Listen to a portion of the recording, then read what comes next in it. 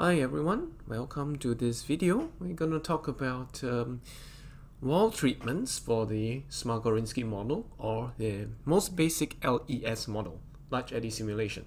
So how can you know, Smagorinsky model be done for the wall? Alright, so we know that um, in general, uh, with any kind of uh, turbulence modeling, uh, the Reynolds stress, which is, okay, the Reynolds stress, Reynolds stress. Stress equals to okay this is the term bar of u prime v prime bar. Okay okay let me bracket this. u prime v prime bar so it can be u prime, u prime, u prime, v prime, u prime, w prime, all of this. Okay, so Reynolds stress is modeled as a viscosity, increase in uh, apparent viscosity for the Smagorinsky model, as well as the K epsilon model. Except for the Smagorinsky model, we we are talking about um, increase in the subgrid scale viscosity, which is, well, we, we can kind of think of it as a turbulent viscosity as well, but uh, in general, Reynolds average Navier-Stokes, they use a time averaging, whereas uh, Smagorinsky model, uh, most LES models, they like to use a space averaging or spatial filtering. We talked about filtering before in the last a few videos back, before I was talking about wall models. So hopefully you can remember that. If not, you can go back and take a look. Alright, so uh, remember, every the Reynolds stress uh, is modeled as an increase in viscosity. So the, the presence of turbulence viscosity, that will tell you the degree of turbulence in that area. Okay, so we expect normally that, uh, so just ignore, the, ignore everything over here, just pay attention here.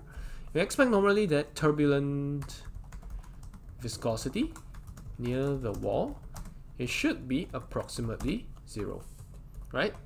Because you don't have so much uh, turbulence near the wall, okay? So just to recall, the Smagorinsky model for turbulence viscosity is as such. It is defined by some characteristic length scale, which is uh, this L over here. See uh, the Smagorinsky constant, times the the grid scale that you are doing. Okay? Yeah so uh, this is our um, yeah length scale so uh, so normally we expect this uh, turbulent viscosity to be very uh, zero near the wall. Okay? So I'll just get rid of this. Okay? So what is this S? Uh, this S bar is the filtered rate of strain or the kind of the average of it. So uh, this is uh, SRIJ, okay? So you have this this uh, kind of dynamic going on there where you have the the velocity gradients. Okay, this is Einstein notation. I won't go over it again, but it is talking about the velocity gradients and uh, of the uh, resolved velocity profile. Okay. Alright, so we expect turbulent viscosity to be uh, zero near the wall. And how do we do this? So we need the um, scales or need the grid size to be very small near the wall, right? We need the grid size to be very small near the wall, and this is uh, LES uh, with resolving of the near wall region. We resolve the near wall region. Of course, uh, if we try and resolve this near wall region, we expect that the um, computational cost is very high because we need a very, very, very, very small mesh size. Okay, the mesh size is supposed to be able to uh, uh, resolve most of the uh, motions, uh, the turbulence within that uh, within that region. And you can imagine near the wall, near the wall, where you have a viscous sublayer, viscous sublayer. Alright, alright. You can imagine that the there won't be a lot of turbulence here, or at least the biggest eddies, the biggest eddies are you know pretty small because the closer you go to the wall, the smaller those eddies tend to become. Because uh, if you remember Prandtl's mixing length model, the mixing length for for that the fluid near the wall, it kind of decreases with distance. Um, um, yeah, it decreases as you go nearer to the wall. Alright, so that's the mixing length model. So the largest sized eddies, um, they are smaller as you go near the wall. Not just because you hit the hard boundary of the wall, but also because you have this viscous sublayer going on. So in the boundary layer, which is not just a viscous sublayer, the boundary layer, yeah, in the boundary layer you will have smaller eddies. You will still have eddies, but smaller eddies. In the viscous sublayer, you will you will hardly see too a lot of eddies because it, yeah, it's a very very low kind of Reynolds number, and the viscous forces dominate. Okay, so there's hardly any turbulent viscosity there. That still applies even if we talk about the Smagorinsky model. So we should not see much of this inside the uh, boundary layer. So what I'm saying there is the the eddies over here are small. Eddies are small near the boundary layer. So let me use green and these are small in the boundary layer. Therefore grids need to be smaller. Okay? So therefore grids need to be smaller. Alright? So let's uh, let me get the snipping tool out. Okay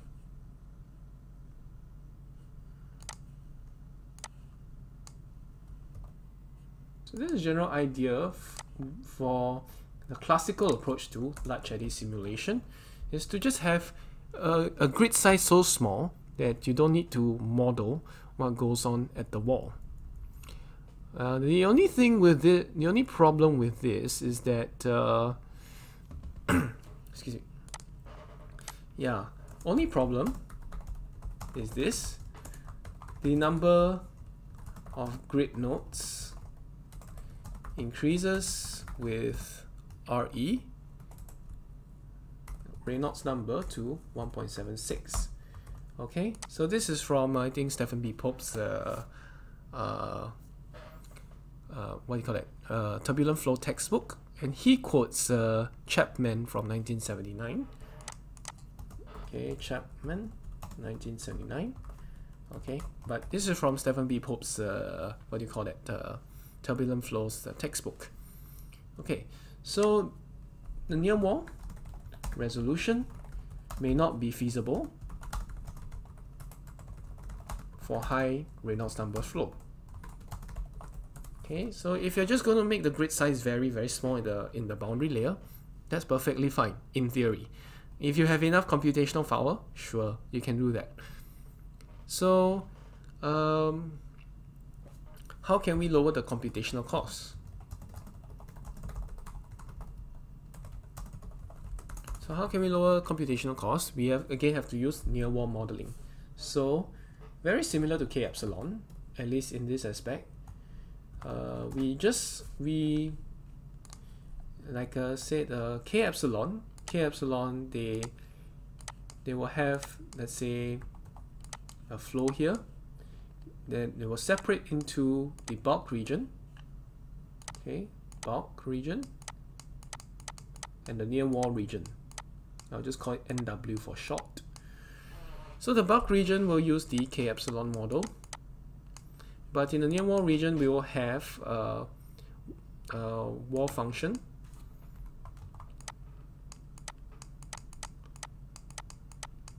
As part of the boundary conditions this is what's often often used inside a CFD software. Okay.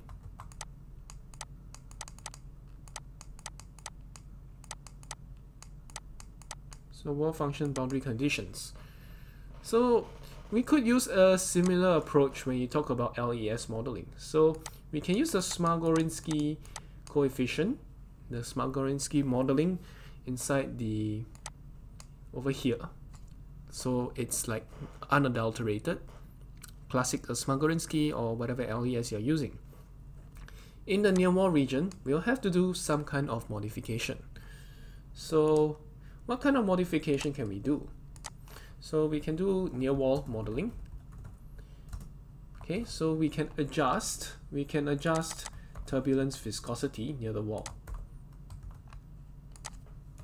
Adjust turbulent viscosity near the wall. Okay, so we can adjust turbulent viscosity near the wall. Alright, so what is this uh, again? Nu t. This is some characteristic length scale. Squared times this S bar, which we were talking about earlier. So S bar we do not touch at all, okay? Because that's the resolved uh, velocities, at least the resolved velocity gradient. We can deal with this uh, L characteristic instead. Yeah, and we we we kind of can take inspiration from Van Driest. From Van Driest. Okay. So we, we have uh, something like this. So we have L characteristic there. So we have L characteristic there. But instead of uh, instead of uh, just having this like vanilla, okay, uh, meaning to say you have this grid size which is constant, you have this Smagorinsky coefficient which is constant, you can add sort of a wall function here. This is one of the most basic ways to do the wall function modeling. So they do a Van approach of y plus against a plus. Very similar to what we have before. And again, value of a plus will be about 26. Okay, so that's that's uh, basically what we do for the uh, L characteristic. Okay, so okay, I think there should be a negative sign here. Yeah, that makes it right. Okay, so this is our Van Driest model. Okay, so uh, there are a number of ways that, that this can be uh, implemented, but let me let me first um, just roughly explain what's going on. Okay, so y plus is the distance away from the wall. Okay. Y plus is some distance away from the wall. Okay, so when uh, at the wall, y plus will be 0. So exponential of 0 is 1. Okay, so at the wall, y plus equals to 0 and uh, exponential of 0 equals to 1. So L characteristic equals 0 at the wall. So that's how that's how this uh, model, they have this damping function which it's very similar to the law of the wall model we have earlier. And we have this uh, A plus making a reappearance as well. Because there are more, there's more than one way to do this. Okay, there's more than one way to do this. We can actually uh, have, okay, we can actually have L characteristic also equals to some law of the wall function, some uh, mixing length model inspired function equals to Alright, so this is uh, very common. I mean, it is uh, done in OpenFOAM at least. Okay, so you have sort of this kind of a formation, sort of this equation. But let me just uh, write it down.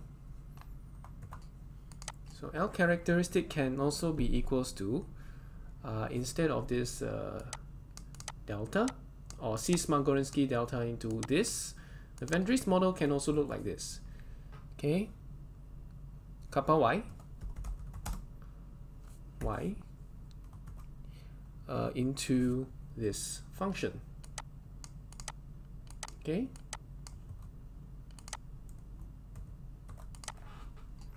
So you can use this this uh, sort of a function near the wall. Okay. All right. So this this this should be uh, the wall function. Okay. So we have two regions. Let's say this is the wall. In the near wall region, we kind of want to use this formula, kappa y into this uh, exponential formula. So kappa y, just like uh, what the Van did. Okay, so kappa again is approximately 0.4. Okay, so over here we use this model, kappa y into exponential or 1 minus exponential okay minus y minus y plus over a plus. Right? Near the wall we want to use this formula.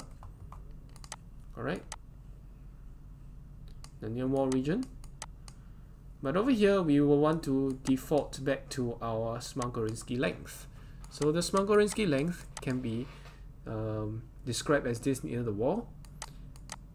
Further away from the wall, we want to use our classic Smagorinsky characteristic length, which is uh, CS, C times delta. And how do we do that? Uh, very simple. Okay, according to what they use in OpenFOAM, they just use a minimum minimum of these two functions. All right. Uh, so we have, let's say, L characteristic, right? L characteristic equals to minimum of two two things. One is this uh, C Smagorinsky times delta. Okay and then you have this kappa y. Okay so that's what you're doing. All right so near the wall um, this will be used but anytime uh, the thing is that as you get further and further away from the wall y will increase and therefore this this function damping function kind of drops off as y increases what I'm highlighting here this term gets closer to 1 and then this term actually just increases linearly with y. So the characteristic length away from the wall becomes bigger and bigger. But we don't want it to increase indefinitely, so we can just take the minimum of this. That means uh, any time that this function exceeds is bigger than the this uh, characteristic length uh, specified by our Smagorinsky coefficient, and of course the delta, it will default to that. So uh, let's draw a graph. So to make it clear, okay. So we have we have this coefficient at uh, this first curve, which can represent uh, the mixing length model, the Van model. Okay, this can represent the Van model. So remember, it's an increasing function with y. So this is the L characteristic. Okay? And then we have the second second line. Second line actually denote the uh, this is the near wall. This is the Smagorinsky one which is this uh, characteristic length scale. So we want to take the minimum of, uh, of this to be our characteristic length scale. So near the wall this portion will apply because this is the minimum. All right this is the uh, near wall curve uh, described by Van Driest. Okay so it's a near wall curve okay Van Driest and then this is our classic Smagorinsky in the bulk fluid Smagorinsky model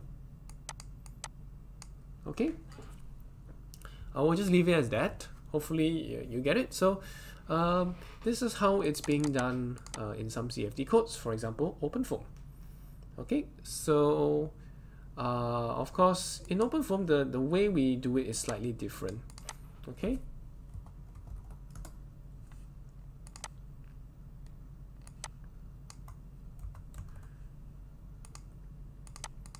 In OpenFOAM we do it slightly differently. Okay, so uh, what what we have here is instead uh, we define delta uh, to be this minimum of whatever is here. Okay, so what we are saying, what open uh, what OpenFOAM does for LES. So this is one example of a CFD code that does this uh, this of modeling. So we have the length characteristic length being this. Okay, so in OpenFOAM, we will say that the characteristic length is the Smagorinsky coefficient times the uh, delta. Okay, for example, this delta, the subgrid scale, subgrid length scale, it is being described by uh, yeah, the cube root volume as we were uh, talking about earlier.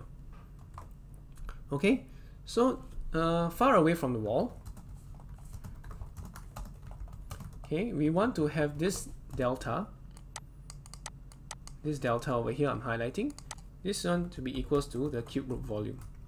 So v to the power 1 over 3 or uh, as OpenFOAM will have it here, the notation is delta g. It's a ge geometric delta function. So it's based on the cube root volume. Okay, but close to the wall, we want L characteristic to be equal to this one, this expression here. All right. So how can we how can we tell OpenFOAM, hey, I, I want to I want to up, adopt this function near the wall. So remember we have a minimum here. So what what uh, OpenFOAM actually controls is this delta rather than controlling the characteristic length scale.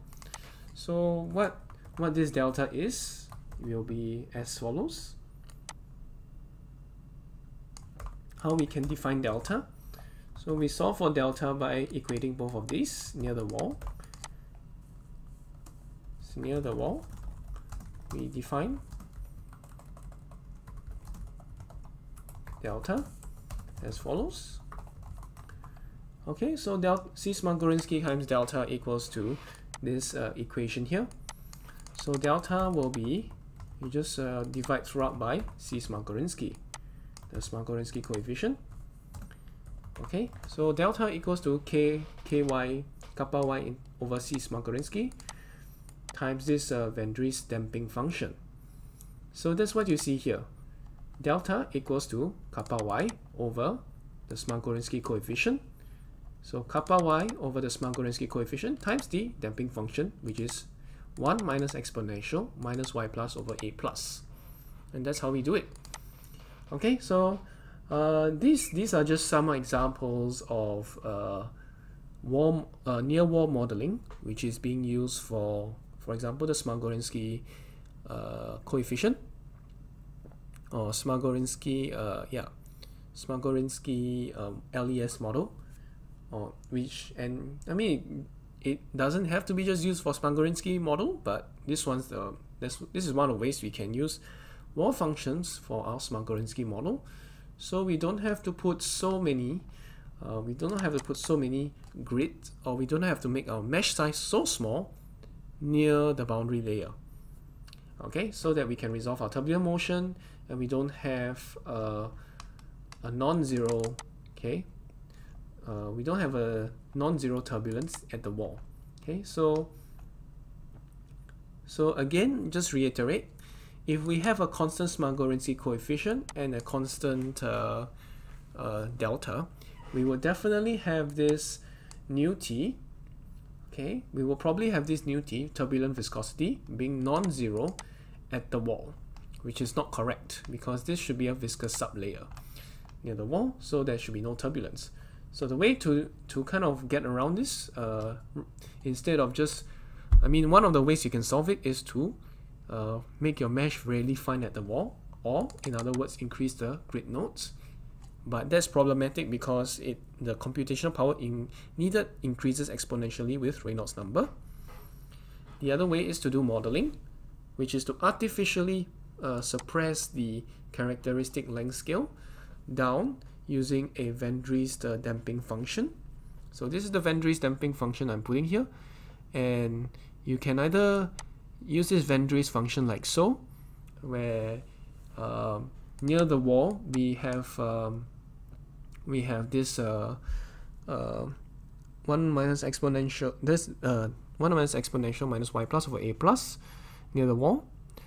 And then far, far away from the wall it will just this whole characteristic characteristic length will just reduce to the Smagorinsky coefficient into delta. That will be the characteristic length. And the other way to do it is to apply this uh, this uh, length scale kappa y into 1 minus exponential minus y plus over a plus and that will be even better near the wall because having this kind of characteristic length scale near the wall, I mean that's really consistent with our law of the wall described earlier. So with kappa equals 0.4.